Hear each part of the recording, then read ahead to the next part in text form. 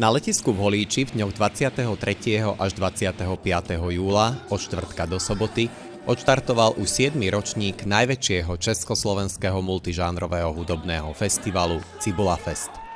Tri dní nespútanej zábavy a dobrej hudby, tisíce návštevníkov, množstvo sprievodných akcií, stovky účinkujúcich, ktorí sa vystriedali na štyroch pódiách, právom radia festival do prvej peťky letných hudobných akcií na Slovensku.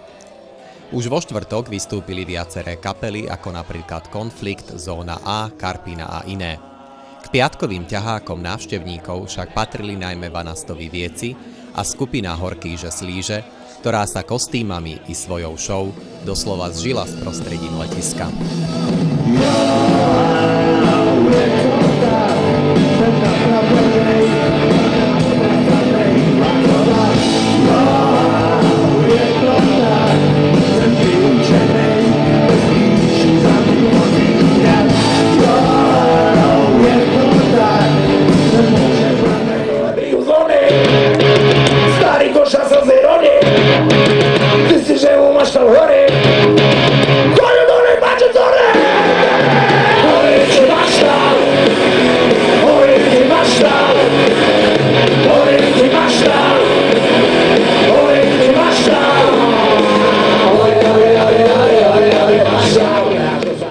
Nielen hudobne, ale i športovo založení priaznivci festivalu si určite prišli na svoje a využili možnosť zašportovať si i napriek horúcemu letnému počasiu.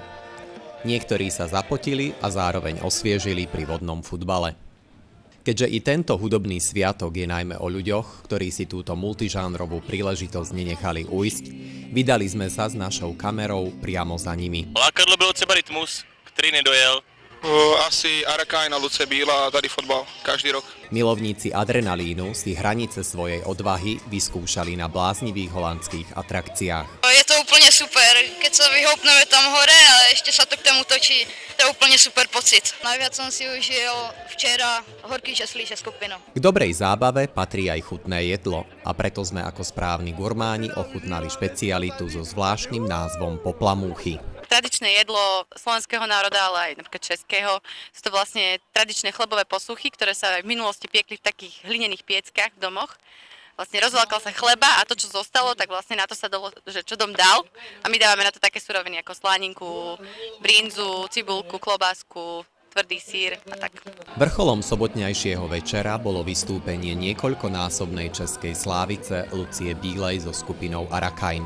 Ako prežíva festivalovú náladu a čo si pre svojich fanúšikov pripravila, tak aj na toto sme sa spýtali priamo Lucie Bílej pred jej veľkolepým vystúpením. Čo pre vás znamenajú festivaly a táto festivalová nálada? Krásná atmosféra, hlavne príležitosť si pořádne zakřičet.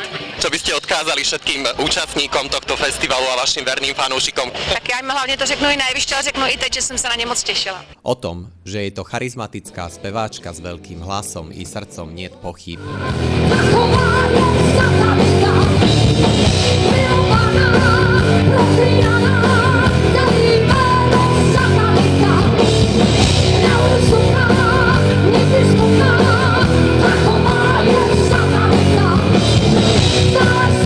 Po jej vystúpení zazneli najväčšie hity skupiny IMT Smile, ktorá divákov dostala priam do letného víru tanca.